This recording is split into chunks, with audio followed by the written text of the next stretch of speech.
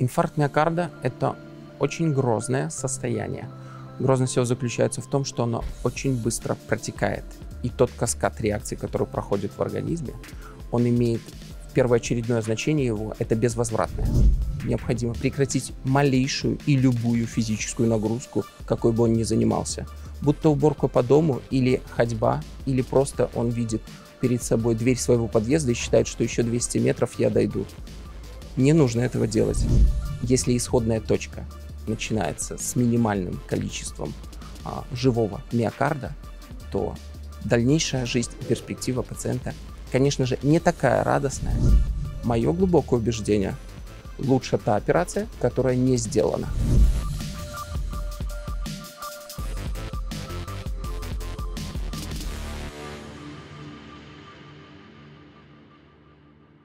Александр Витальевич, здравствуйте. Здравствуйте, Инна. Почти две трети смертей в Беларуси вызваны сердечно-сосудистыми заболеваниями. А какое место в этой печальной статистике занимает инфаркт миокарда? К сожалению, вы действительно правы. Львиную долю смертей наших граждан забирают на себя заболевания сердечно-сосудистой системы. А, и в этой связи инфаркт миокарда является острой формой той, э, того заболевания, под названием ишемическая болезнь сердца, которая является апогеем всего патологического процесса, который протекает у наших пациентов.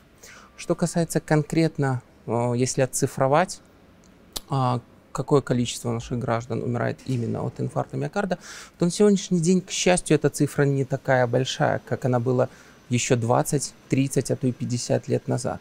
Современные технологии внесли свой вклад, и мы на сегодняшний день способны спасать пациентов, у которых острые формы а, ишемической болезни сердца. А, но я говорю это не с точки зрения хвалы той специальности, а, к которой отношусь в том числе и я, а с точки зрения того, чтобы мы все понимали о том, что взявшись рука об руку с пациентом, мы забрались на верхнюю часть графика по статистике смертей, в том числе и смертей от острых Э, хрони... ишемической болезни сердца и от хронических форм ишемической болезни сердца. И спустившись с этой верхней точки, мы можем точно так же, только вместе взявшись за руку с нашим пациентом. А кто в группе риска? А в группе риска те а, люди, извините, у которых есть факторы риска. А это пресловутые факторы риска, которые никто никогда не скрывает, и они проговариваются на приеме у врача общей практики, в амбулаторном поликлиническом звене, на приеме у врача-кардиолога. Что это за факторы риска? Это малоподвижный образ жизни, абдоминальный тип ожирения. На сегодняшний день главенствующую роль занимает уровень глюкозы в крови.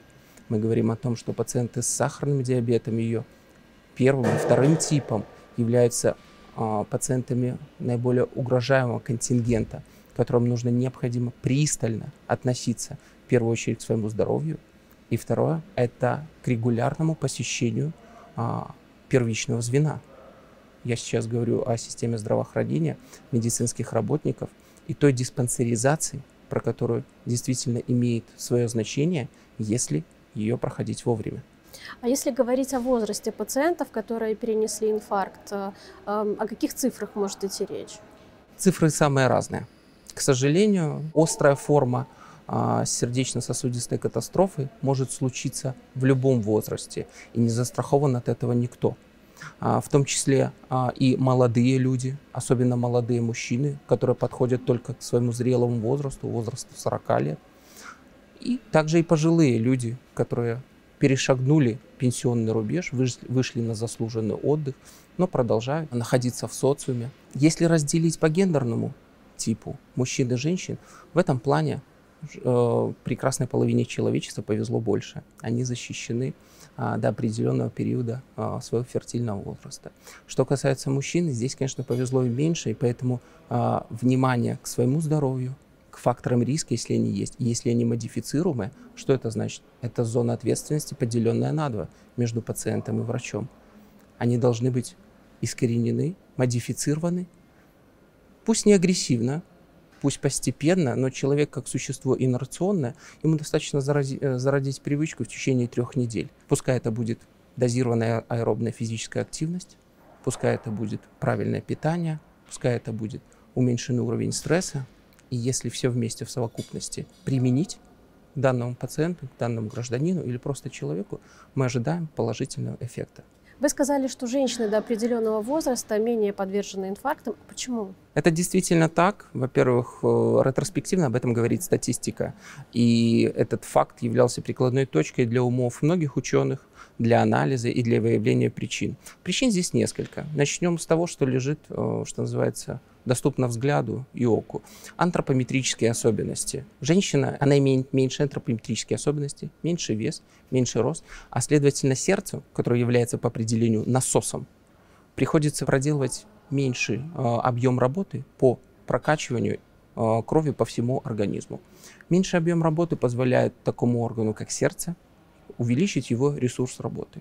Я уже говорил о том, что если ввести понятие фертильного возраста в определенный период жизни женщины и говорить о том, что те гормональные, э, та гормональная картина, которая присуща этому возрасту, она обладает достаточно протективным эффектом в работе кардиоваскулярной системы. О чем это говорит? Это говорит о том, что тот баланс вазоконстрикторных, а также вазодилататорных механизмов, которые присутствуют у каждого человека, находится в сбалансированном э, состоянии и позволяет организму женщины противостоять тем внешним факторам стресса, а также тем механизмам, которые э, подавляют работу вазодилататорных механизмов, и формировать э, определенный баланс в работе ее эндокринной системы. А как же вот в народе говорят, мужчины эмоции в себе держат, э, а женщины более эмоциональные, поэтому у мужчин инфаркты чаще случаются. Это миф? А нет, это не миф. Вы произнесли вполне четкую и конкретную фразу.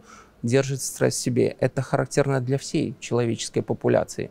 Относясь к царству животные, мы с вами отличаемся от братьев наших меньших тем, что не все эмоции а также руководство к их действию мы э, реализуем.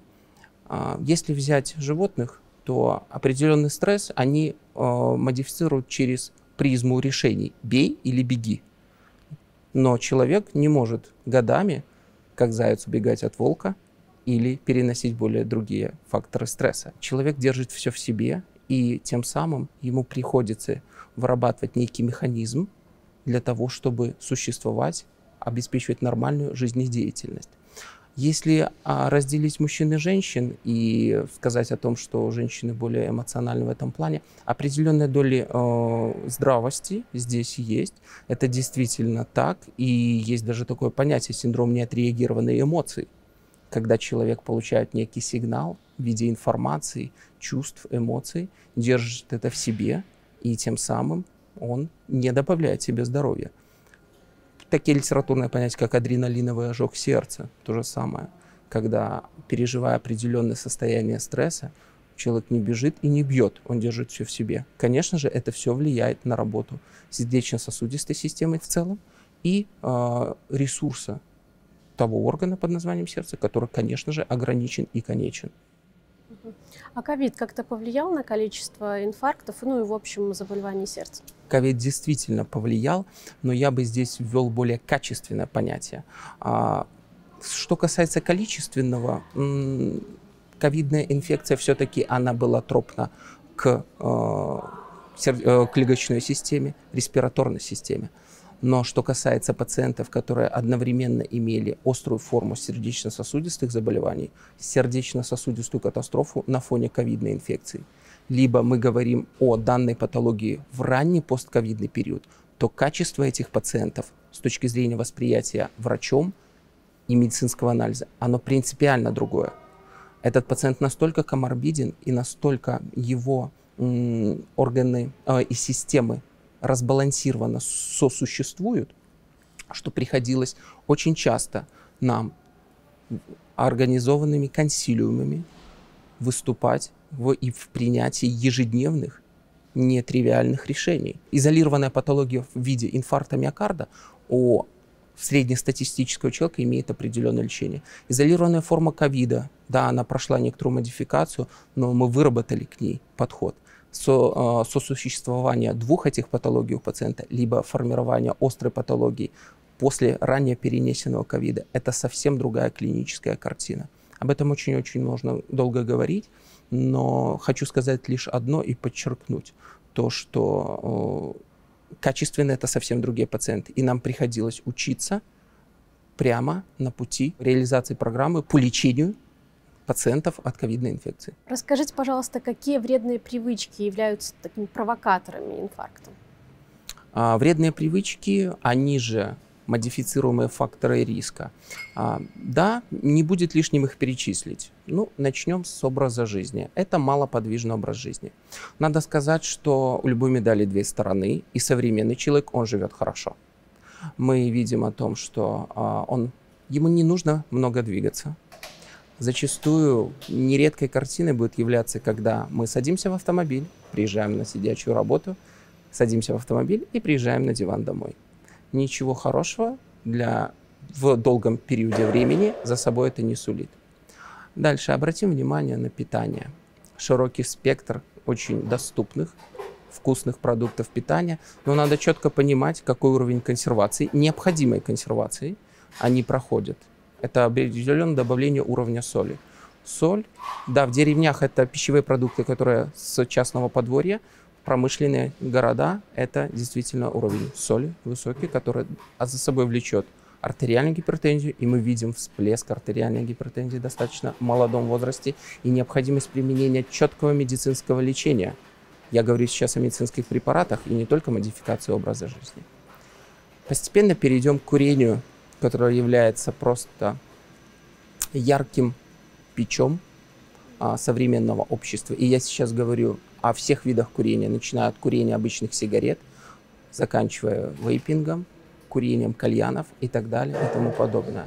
А тот никотин и тот табачный дым, который определенно несет риск развития рака легких, верхних дыхательных путей, он еще очень патологически влияет на ту эндокринную систему, я говорю о внутренней оболочке сосудов, артерий, в которых впоследствии происходит разбалансировка факторов вазоконстрикции, то есть сужения, и вазодилатации, то есть расширения.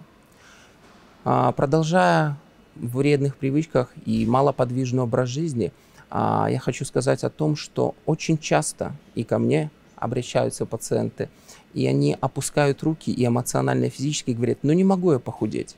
И в этом плане современные тенденции, вот э, мнения экспертов и лидеры мнений последнего времени, э, к счастью, наверное, для этих пациентов происходит определенная девальвация понятия э, лишнего веса. На сегодняшний день мы говорим нашим пациентам, да, пусть ты не можешь похудеть, но заставь, пожалуйста, свою скелетную мускулатуру ежедневно работать. Приведи ее в ежедневную физическую активность. Пусть она 10, 15, 20 минут, но каждый день двигается.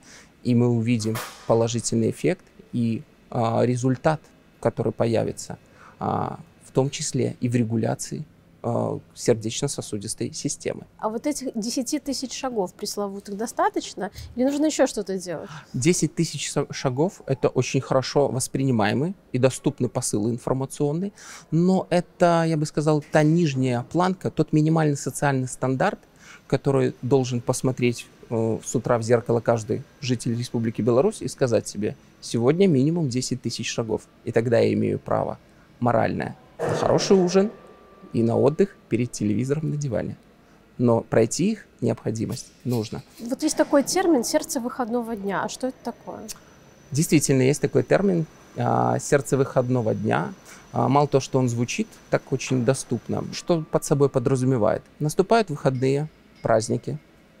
А, тот стресс, который накопился у жителя большого мегаполиса – Зачастую он вымещается не на беговой дорожке, не на лыжероллерной трассе и даже не в бассейне. Он вымещается в неком заведении, где происходит э, обильное питание, разговоры с друзьями, э, посиделки, и, а также принятие алкоголя в определенных дозах. И те дозы, которые именно при, принимаются в выходной день, зачастую они кратно были выше о тех дозах, о которых говорилось а, с точки зрения а, ежедневного безопасного приема. К чему это приводит? Это приводит к тому, что после проведения такого времени и с такими факторами риска, назовем это так, а, определенная нагрузка на сердце идет. Это ситуационная тахикардия, которая а, определенное время сердце вынуждено учащенно работать, а следовательно меньше отдыхать. А, весь этот каскад патологических реакций приведет к тому, что, опять же, мы ускоряем ресурсоизнос, а результаты, которые будут, ближайшие результаты, я говорю о понедельнике, когда выходные пройдут, это действительно те результаты, с которыми пациент в том числе может и обратиться за медицинской помощью. А, нарушение уровня водно-электролитного обмена, также различного рода кардиалгии, дискомфорт, усталость. И это только те кардиальные причины, о которых мы можем сказать. Если наслоить на это общие синдромы, которые могут возникнуть после такого проведенного образа э, времени препровождения, мы получим ту картину, которая патологически влияет на работу сердца. Именно это понятие вкладывается в понятие сердца выходного дня. И если у нас 365 дней в году мы делим на месяцы, недели и получаем выходные. А к чему я хочу подвести? Если забегать уже действительно далеко вперед, то надо понимать, что храм здоровья – это не клиническая больница, не поликлиника и даже не республиканский научно-практический центр. Храм здоровья – это велотренажер, беговая дорожка, лыжа, роллерная трасса.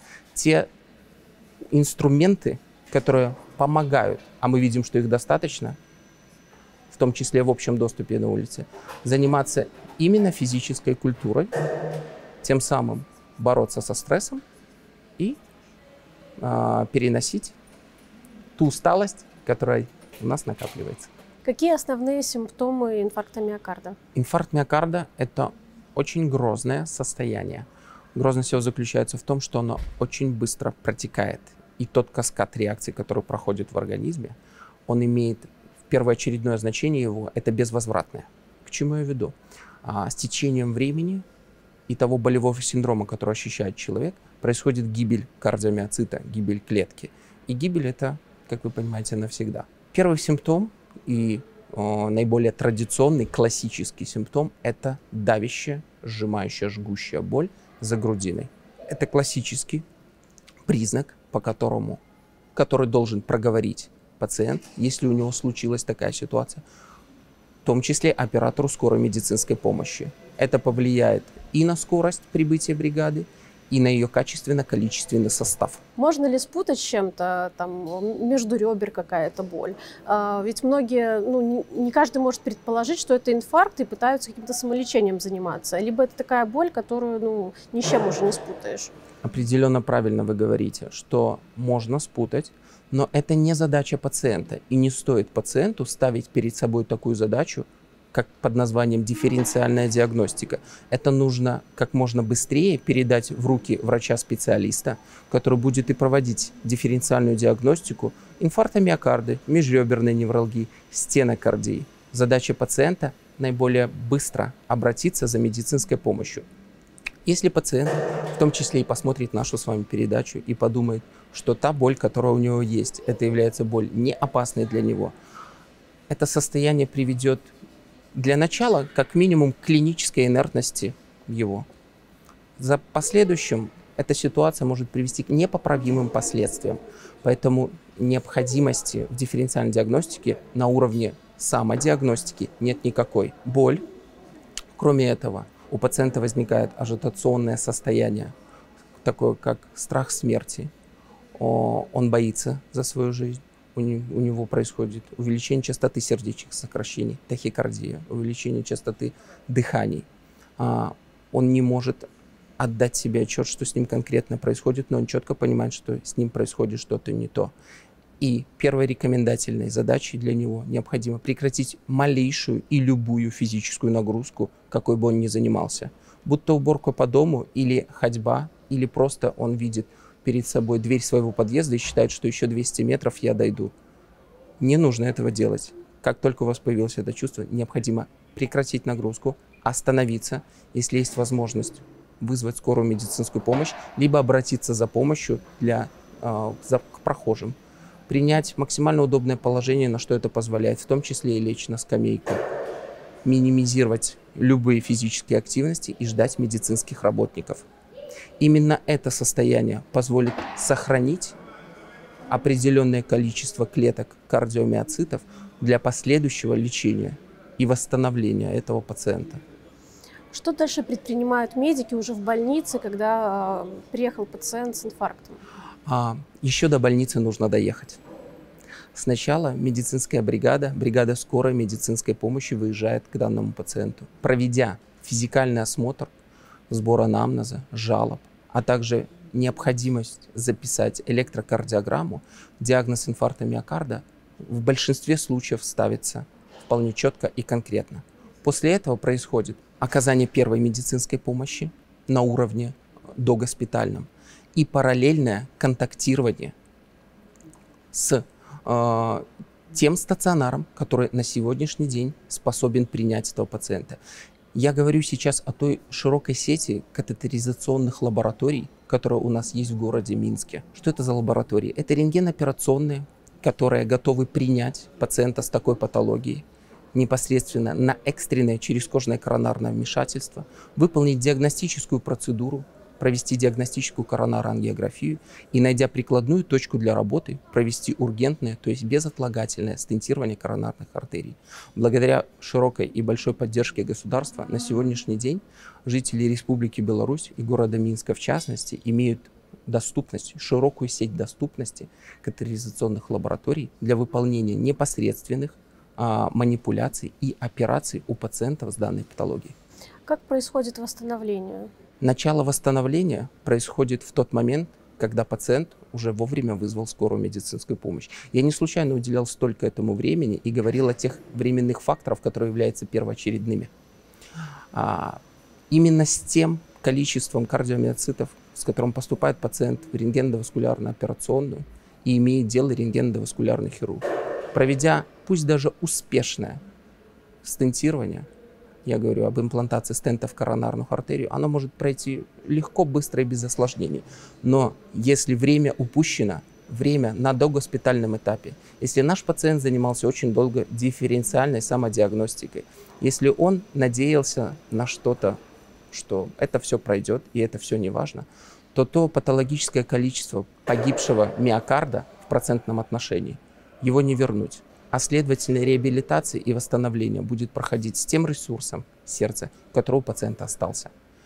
И если этот ресурс достаточно мал, то мы можем говорить о очень серьезной реабилитации, серьезному подходу. И зачастую уже на этом этапе у пациента формируется очень хороший комплайнс, только, то есть приверженность к лечению. Он уже понимает, с чем он имеет дело. Но если исходная точка начинается с минимальным количеством а, живого миокарда, то дальнейшая жизнь и перспектива пациента, конечно же, не такая радостная, если бы другая сторона, пациент в раннем этапе обращается, выставляется конкретный и четкий диагноз, выставляются показания для того или иного вида лечения, я говорю о хирургическом либо о терапевтическом лечении. И пациент а, по показаниям выполняется пациенту необходимый перечень лечебно-диагностических мероприятий. И вот тогда реабилитационный потенциал, как мы называем его в медицинском сообществе, будет гораздо выше у данного пациента. Как предотвратить инфаркт миокарда? О какой профилактике может идти речь? Предотвратить инфаркт миокарда можно, более того и нужно.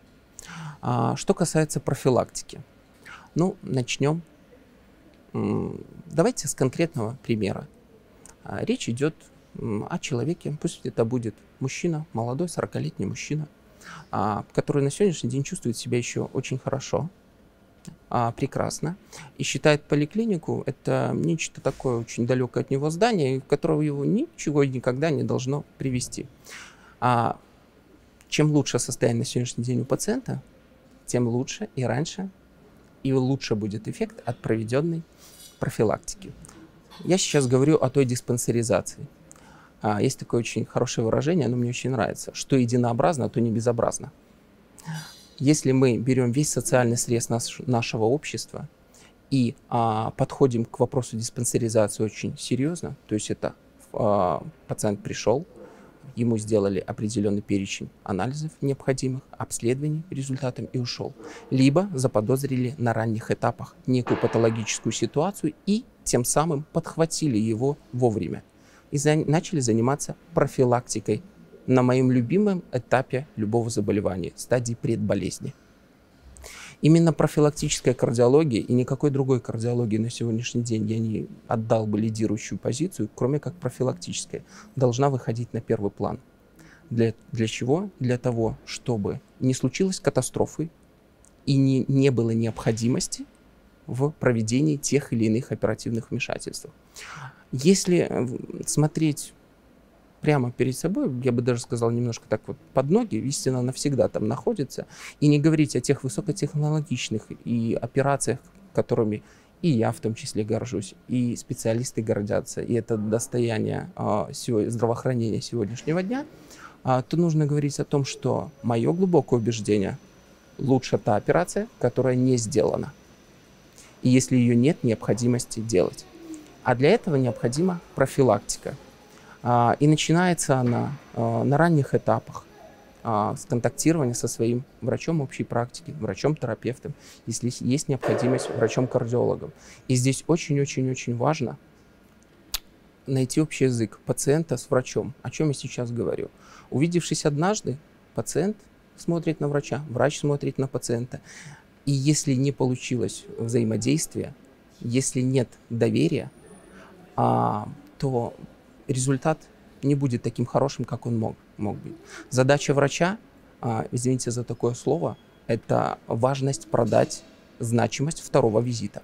И здесь мерилом продажи является только одно. Пациент платит своим доверием, ничем другим. Если он доверяет своему специалисту, он придет к нему второй раз. А наладившись контакт, и я уже говорил, что человек это существо инерционное, то нет никаких Э, шансов для развития патологического процесса, и это очень важно. И те экстренные службы, в том числе широкая сеть рентгеноваскулярных хирургов, я их всегда сравниваю с пожарниками, которые тушат уже пожар, э, а организм человека с домом, в котором после хорошего пожара, да, там остались стены, иногда там остается крыша, но жить в нем как минимум некомфортно. И вот чем меньше, чем больше будет сухих рукавов пожарников и руки у рентгеноваскулярных хирургов, тем, значит, лучше работает система профилактической кардиологии. Именно той кардиологии, которой нужно отдать пальму первенства в надежде и на результат. А результатом будет являться то, с чего мы начали с вами. Уменьшение количества смертей и летальности. Александр Витальевич, спасибо вам за такую полезную информацию. Спасибо вам, Инна.